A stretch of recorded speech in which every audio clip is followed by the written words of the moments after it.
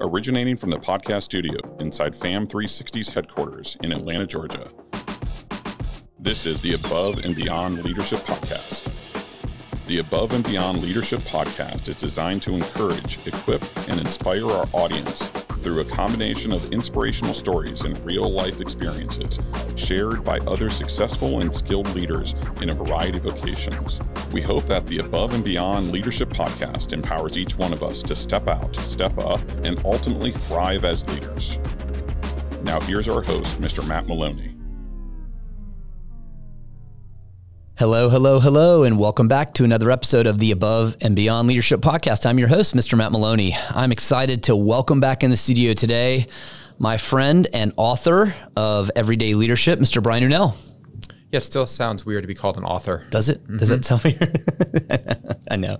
It's like, wow, I'm- really, I'm really an author. I really wrote a book, Well, hey, yeah. it, it recently released, so it's it's pretty exciting. So, for those of you that were not able to tune in yet to the last episode, I encourage you to hit pause, go back, listen to the first episode with Brian.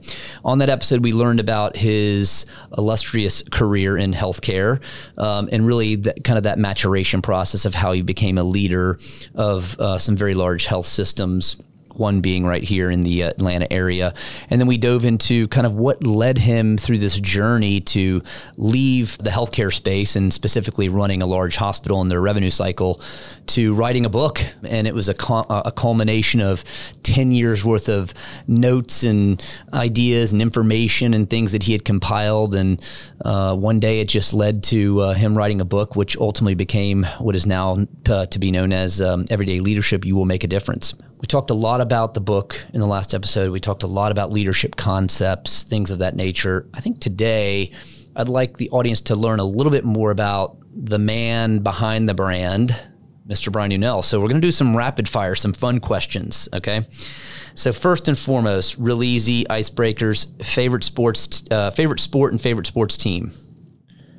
Favorite sport right now would be baseball and the Atlanta Braves. Yes. See, this is why I like this guy. I know the Braves aren't in the postseason this year. A little bit of a hiccup, but they're next year. Next year's coming back. So, favorite hobby? Spending time with the kids. The days are long, but the years are short. Oh yeah, Mm, undoubtedly, And um, undoubtedly. to be able to just spend time with them has been is priceless. Yeah, it it truly is. It's a tough one.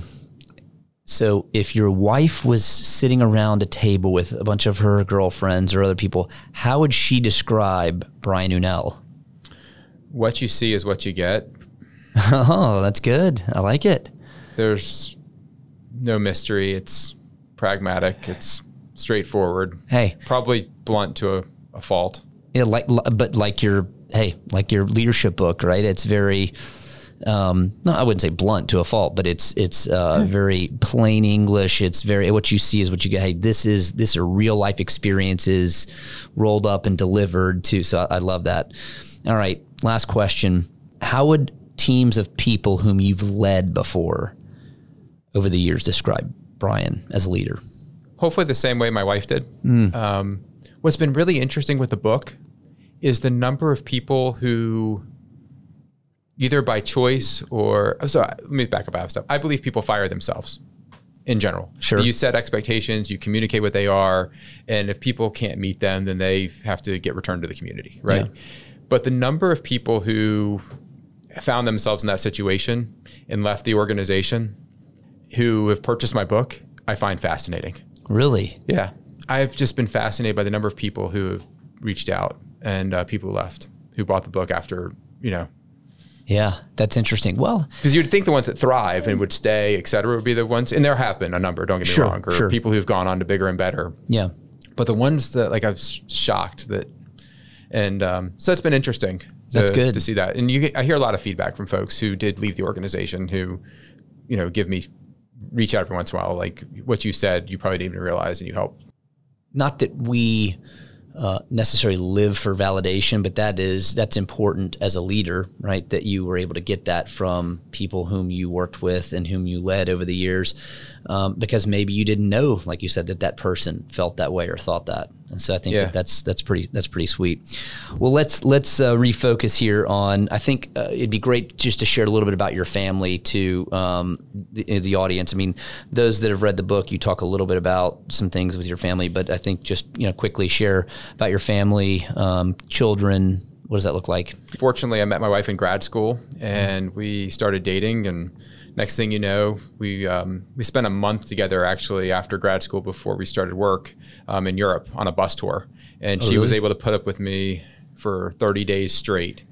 And I'm like, if she can put up with me for this long, Yeah. I've got someone special Yeah, I here. got someone special here. right? I mean, 24 7 nonstop for 30 days. And um, so very fortunate to be married now for 21 years and counting. Congratulations. Um, yeah, we were married two weeks before September 11th. Wow. Yeah, 2001. And, um, and then we've got two kids, a 14 year old son and a five year old daughter. Okay. So that's great. Big big space in between there. You know, as we talked about in the previous episode, there was a lot of things that got in the way between Yeah. work and life, and we always wanted to have a second. And you know, for those of you who have kids or don't have kids, and you're always wondering when's the right time to have a kid. There never is a right time. Yeah. Uh, right. The answer is never. But you've, you know, our window was closing. We decided to jump out, and um, our older son is a great big brother, and there's no competition because they're so Yeah. far apart. But um, Yeah.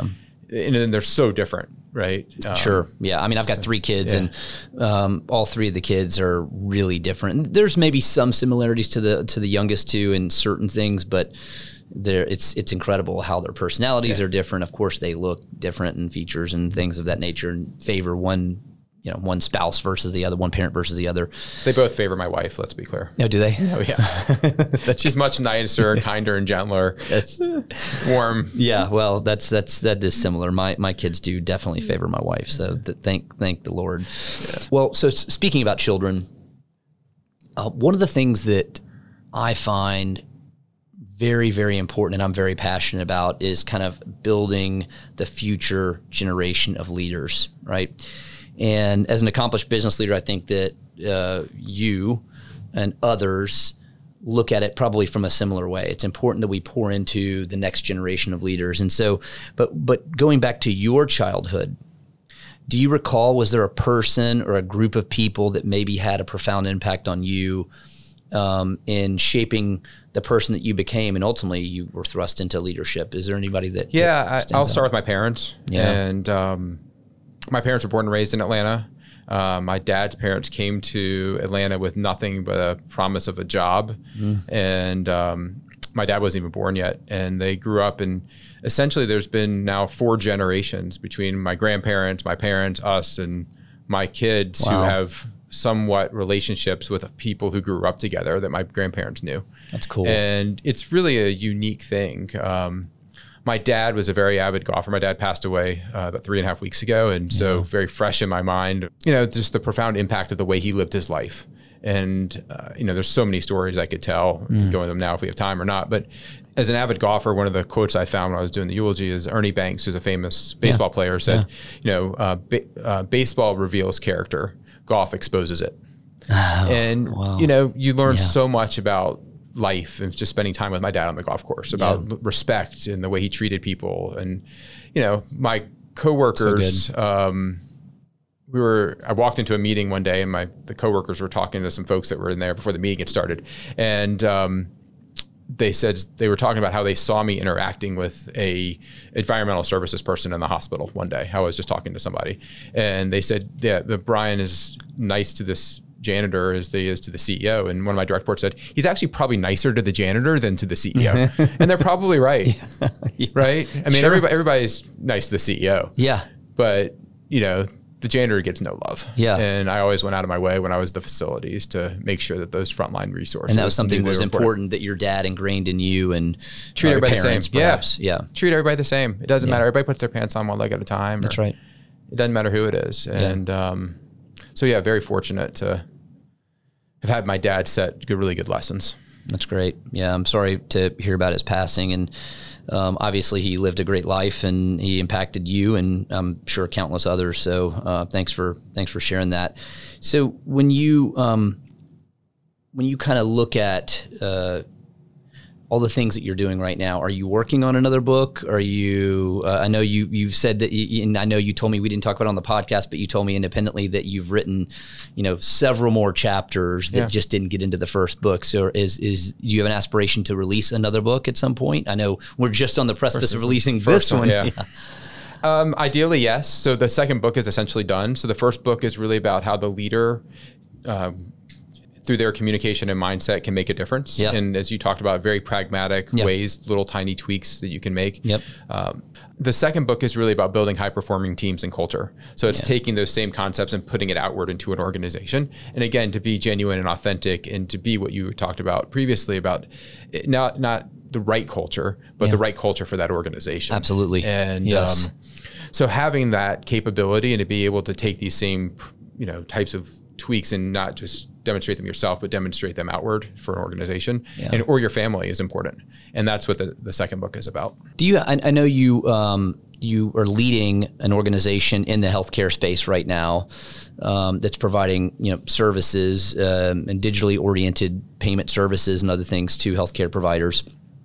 But just curious, do you have um, you know aspirations at some point to uh, you know who knows where the book book thing goes, right? And and but to go back and you know build a leadership consulting firm or an- anything like that. I mean, maybe maybe not now, but have you thought about that? Yeah, one day at a time. I mean, I'm so fortunate to have crossed paths with a guy by the name of Darby Brown, who's a serial entrepreneur, and we were connected as one of those familial relationships that I mentioned. Um, it just somebody that knew me from here that moved to Nashville Yeah. and connected me with Darby. And Darby's just uh, an incredible human being and giving me an opportunity to basically take this company that he founded in 2016 and to basically take it to the next level. And so I've got nothing really else on my mind at this moment in time other than Yeah. taking the company to Yeah. really build it. But we'll see what happens. Um, I, I love being able to do this stuff on the side. Yeah. It's a hobby. Yeah. And to your point, being able to make a difference. Yeah. And Darby has been extremely supportive of that. That's And great. So that's that's big. Yeah. and so, you know, to go do a couple talks here and there and to help organizations or um, companies do things, um, you know, it, it, re, it re-energizes me and I learned something from it as well that I can always bring back. Yeah. Of course. Right. So it's not just selfish that I'm going out and doing it because I learned something and, you know, can I come back and apply it to our company and our people and our teams and our clients as well. How with you being, you know, you're you're you're a dynamic leader in terms of you know the organizations that you've been in. You're leading an organ, a healthcare organization. Um, you know, again on the technology payments payments technology side of the business. Oftentimes, you know, there's an old saying: "It's lonely at the top." Right? Leaders are constantly pouring out their energy, their ideas. Um, you're you're investing time with your people. You're helping solve problems. You know, and part part of your day maybe firefighting, right? Putting out fires and things of that nature.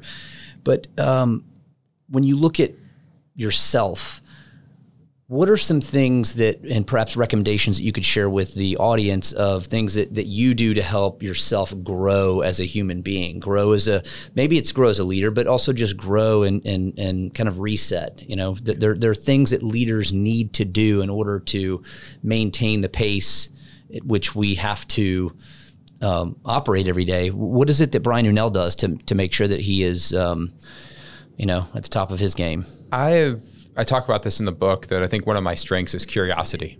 Ah, and I didn't realize it until I was doing some research for the book and but being curious is one of those constant things that Yeah. I always try to do. And so what does that mean pragmatically or practically is in the morning when I'm exercising or before I'm exercising, I'm watching Fox News, CNN, and MSNBC. Mm. And then I switch to the tennis channel because I want to watch it any, any of them anymore. Yeah. But like I try to get perspectives from everywhere. Um, so I read Harvard Business Review. Mm-hmm. Uh, there's a professor out of uh, NYU School starting a business by the name of Scott Galloway, Mm. who I find just extremely thought provoking. Um, I don't agree with everything he says or does. Yeah. Um, but I, I try to put myself out and try to find content that is going to make me think. Yeah, Not sure. that I'm going to take on the thoughts of those people, but try to make me think. And so that's where I try to go. And um, it's hard to find because there's so much that is just entertainment now. No Yeah. one's very few people out there trying to make you think. Yeah. Like all these news channels I just mentioned, they're playing content to attract an audience Yeah. as opposed to educating the audience. Hopefully the above and beyond leadership podcast is playing content that Absolutely. educates the audience right? Absolutely. and I've listened to about half of them. I have not made it through the other half okay yet. well, it's good but I'm going to get through them, I promise. And I've enjoyed it because you have people Yeah. on here, as, as your point, that help think about things in a little bit different way. Who've Yeah. come into leadership roles in a little bit different way. Yeah, it just it's it's it's giving, it's obtaining and giving perspective from different you know philosophies and styles of leadership, or just different life experiences, right? And and and how that can hopefully inspire and, and uh, The one episode about your parents was incredible. Yeah, yeah. was I mean, good. I, I met your mom in person for the first time, and Yeah. I, I felt like, oh, I knew, I felt like I knew her, right? Yeah. Like, you feel like you know oh, I know somebody, you. Yeah, right? Exactly. But the story and the and the what people put in, as I was talking about my grandparents before. I mean, they came to Atlanta with nothing other Yeah. than the promise of a job for my grandfather, and they built a business called Atlanta Thread and Supply. Yep. And you know, I write about in the book how I was getting my suit tailored one day, and there was a ruler on the ground that said Atlanta Thread and Supply, and it was you know Gosh, a decade or more after my grandfather had sold the business. Great? But you know, the guy, the tailor, knew my grandfather, That's amazing. and you just never I know. love that. Yeah, and so the impact that you can have on people. Yeah, uh, it's it's no doubt, and and I you know I look back. I think you know we talk about this a lot uh, as you know Americans and honoring the the the generations that came before us and, and the things and the, the the grit that was required and the hard work and just The sacrifice. the sacrifice. Uh, it was in, it was incredible. It really is mean, incredible, and I hope we don't lose that as a as as Americans. I hope we don't lose that as a world. I hope we don't, but I really hope we don't lose that as Americans. Yeah. Uh, just it's it, it requires. Um, uh, I mean, life is life requires a lot of sacrifice. yeah. Um, so, so uh, let's shift gears. Do you do you have a, a life motto, a quote, scripture, creed, what you know, whatever that you live by, or something that perhaps inspires you or empowers you? Yeah, it's uh, communications and expectations is ninety percent of success. It's the title of the fourth chapter of the book. Ah. Yeah. um, it's the first real chapter after you kind of get through the intros and the history of leadership and other things. But I've, I firmly believe that that I've seen some of the people do the best work in the world, but it's just not what others were expecting. Yeah. Or it didn't fit the culture or whatever reason. Yeah. And they're just seen as not being successful because of it. that goes back to the clarity thing we talked about on the first podcast of, of you know you brought two parties together. They both walked out of there feeling good. We were on the same page. They were going to have this frequent meeting as i recall. And and one said yeah it's going to be every quarter. And the other said no it's going to be monthly. Right? And um and, and having the communication and the expectation uh, aligned um you know is as you said is 90% that's great all right let's let's um let's have some fun so We're not go- having fun. I'm having fun. yeah, I mean, I'm having fun too, yes. But let's have some more fun.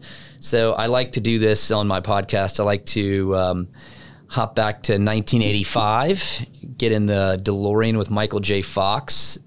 We're going to go back in time, and you're going to get to uh, meet your younger self. And in that process, you're going to give your younger self a piece of advice. What would you tell your younger self? So 1985, my friends and I were doing fantasy baseball at the age of 12. Oh, there you go. Okay. So believe it or not. Yeah. And we should have basically started a business doing rotisserie baseball or fantasy baseball then because we were on the cutting edge. no doubt. So that's what we No should have doubt. done. The advice I would give myself though would be probably twofold. One is to take a little more risk. Hmm.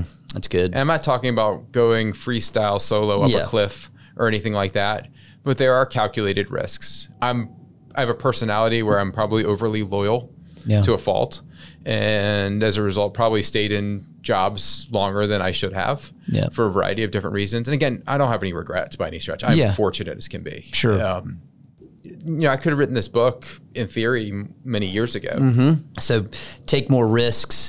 Don't don't sweat the small stuff. Yeah. Right. I mean, Yeah. but one of the biggest concerns I had with writing the book was putting putting myself out there for others to judge in a Oh. world where it's so much easier to be a critic than it is to be a creator. Yeah. It is so hard to create. I mean, that is and it's so easy to be a critic.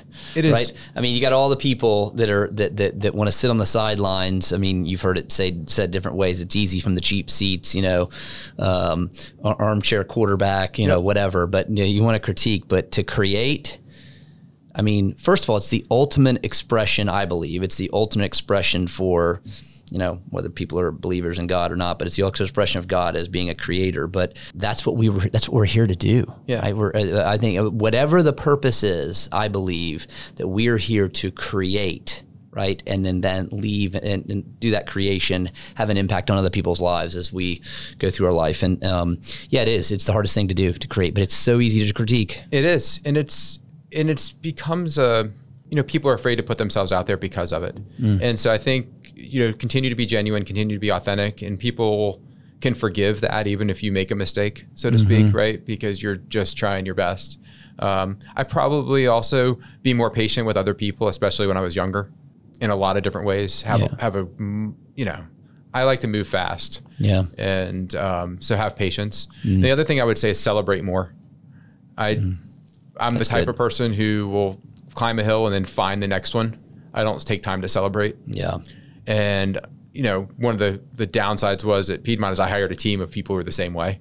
So we really had to be intentional about celebrating. Yeah because it was uh, it was go execute go execute, execute. yeah and there's always stuff wash rinse and repeat wash right. rinse and repeat and you're missing stuff along the way because there's so many other opportunities you can't even get to yeah so you don't even feel like you have time to celebrate so but you need to celebrate yeah that you resonates need to recognize with me, taking time to celebrate more and, and patience. But you know that that's something that that comes more natural for some people and doesn't for others. Yep. and and so it's things that you know we have to work at. So as we wrap up here, final thoughts, final thoughts that you can share with our audience to perhaps maybe help them, encourage them on their journey and understanding how communication and mindset, which is the themes within embedded within everyday leadership, how they truly matter. What what what kind of final thoughts do you have that you want to impart on the audience with communication and mindset? Yeah, I said it a little while ago. The the days can be long, but the years are short. Mm. And you never know when your time is up or someone that you love's time is up. And if you've got, um, fortunately, I don't have this. I mean, I've got a couple places of people that I say I would never work with again. But there's, you know, with my father's recent passing, and fortunately, we had an incredible relationship and never had any issues. But you realize that um, life's too short to be unhappy but at the same time, life's too short to hold grudges. Mm, that's and so true. It, it, doesn't help you or help anybody else, and to really go try to get closure on things if there if there's open, you know, if there's things that are out there that you need closure on, um, because otherwise it's baggage that you're carrying around. It's impacting yeah. you in ways that you realize and don't realize. The relationships you have, the relationships you don't do, and so you know, try to go get closure on things. That's good. That's how I would tell people. That's good. Thank you. Brian, thanks so much for joining us. This was awesome. Um, I know that it was educational, both uh, both episodes, educational for our audience, but also inspiring. Uh, I want to close with this quote from Brian within the book. It says, "Everyday leadership must be authentic, very simple, very clean, and pragmatic." So, thank you. And, and, let me let me just uh, wrap up by affirming you and saying again, what you're doing is outstanding. Um, don't lose sight of how you know one little thing in the book or one little conversation that you have and how it, it really is changing and can change the lives of other people so congratulations on the success of, of launching the book you took that step you became a creator and uh, I know it's going to be a successful book. So thanks again. And uh, and and by the way, I, I was I was um, wasn't joking earlier, in that uh, Brian and I were talking about it, um, every year I give out books for uh, for for Christmas, and I think that this year's gift to uh, many of my uh, friends and family and clients and other people will be everyday leadership. So, well, thank um, you. That's awesome. Yeah, glad to hear it. I appreciate the opportunity to be here today, and congratulations on everything you're doing as well. Thanks. I mean, I think this is yeah. incredible. It's so hard to run a podcast. It is. I've told people have told me, "Oh, Brian, you should go do a podcast." I'm like, you have no idea what it takes to a podcast. It's, it's, it's tough. Thankfully, I have this awesome team over here that knows exactly what they're doing, and uh, yeah, well, you I'm do a great job with that. it, and they do a great job with it. Well, so thank thanks you. for having me. Uh, for those that want to learn more about Brian, uh, you can go to his website at www.brianunell.com and uh, you can find more information about himself and, and the book, uh, Everyday Leadership. As we wrap up, to all of our subscribers and listeners out in podcast land, I hope today's episode was both empowering and inspirational. And as we journey out, I hope and pray that our daily journeys are filled with opportunity to lift others up as we aim to go above and beyond. Thanks, everyone. Our executive producer and host is Matt Maloney, President and CEO of FAM360. Strategic Communication Coordinator, Michelle Ducato. Production assistance by Tin Dog Studios. Director, John Berlind. Creative assistant, Whitney Roland. Theme song, Connecting Dots by Curtis Cole, provided by Artlist. Please subscribe today and don't miss any of our weekly episodes.